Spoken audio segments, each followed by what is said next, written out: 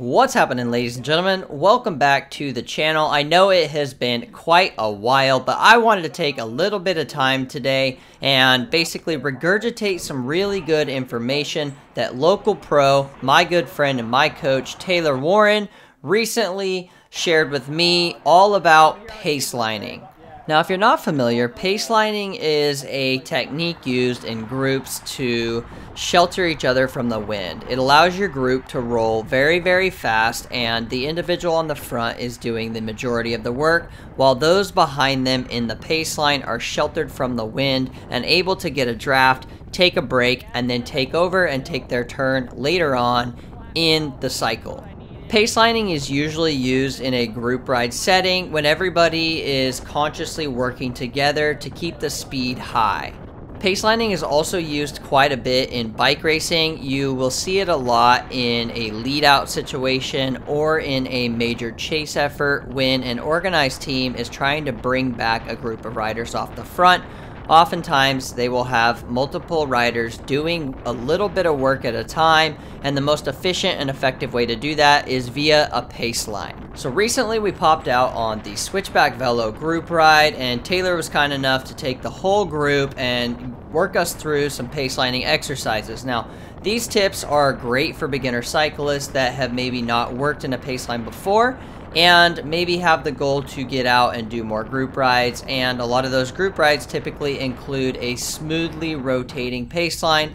Now, in order to rotate smoothly, there are a few tips that I want to share with you guys to make sure your pace lines are fast, efficient, and done correctly. So without further ado, let's go ahead and dive in to my first tip Number one would be not to accelerate too hard when overtaking the group. So if you are the side of the pace line that is rotating into the front position, you don't want to come through and actually accelerate because that ruins the flow of the pace line itself.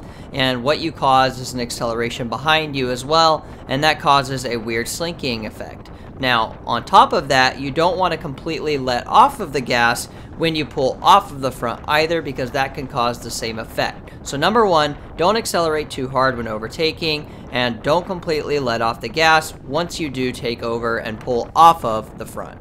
Speaking of pulling off, that moves us to number two on the list. So number two is always pull off into the direction that the wind is coming. For example, if the wind is coming from left to right, like it is here in this example, you would want to pull off into the non-protected side. What this does is it offers the other riders and the faster moving part of the train to overtake with less effort or power output than you're already doing on the left side, the unprotected side of the train as you're dropping back. Of course, with pace lining, most of the time in a single rotating pace line like the one you see here, you're going to have one train moving forward and the other is going to be slotting backwards. Now, a critical component of a smoothly rotating pace line and an efficient one is keeping it really tight. So, what that means is you want to stay very close to the rider in front of you to maximize your draft and then also when you are overtaking the front of the pace line and about to take your turn on the front, you want to start moving toward the slow moving train very early. What that allows you to do is maximize your draft during your pull and use just a little bit less energy to keep the speed up of the group. Number four is to communicate with your fellow riders. So you want to tell your fellow riders when you're last in the group so that they don't miss the train moving forward and that helps them not have to do an extra effort just to jump on the wheel of the last individual rotating through. This causes surges in the pace line and obviously as we've talked about that is really undesirable. So overall just make sure you let people know when you're last. It's just an added touch that kind of helps things keep rotating instead of playing a little bit of a guessing game here. Most likely you're alert and you're paying attention but it is nice to know when you are the last rider in the group so that they can start slotting over. On top of that elbow flicks on the front are another great method of communication not everything has to be verbal. You can also use things like body language to allow people to fully understand when you're going to go ahead and rotate off into the slower moving train and when it's their turn to go ahead and pull through and take the front of the pace line. As a quick bonus tip, just remember that slow is smooth and smooth is fast, especially when we're talking about a pace line. Alright, so number five, my last tip, and probably the most important, is never stop pedaling. Freewheeling is a no-no in a pace line, in my opinion, and you'll see a lot of the very experienced riders do exactly this. What happens is most of the experienced riders will maximize their efficiency and the efficiency of the group by softly just floating the pedals but keeping them moving at all times so that you can easily reapply the power when needed, especially if there's a surge or an acceleration.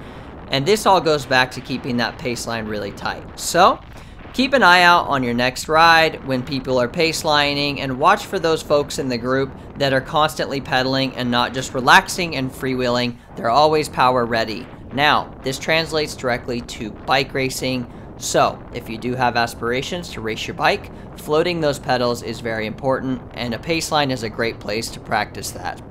Alright folks, there you have it. Those are my 5 tips for pace lining. I hope these help you out on your next group ride, in your next race, or really anytime you're out on the road and you link up with other riders and you're trying to be efficient and smooth and maybe hide from the wind a little bit.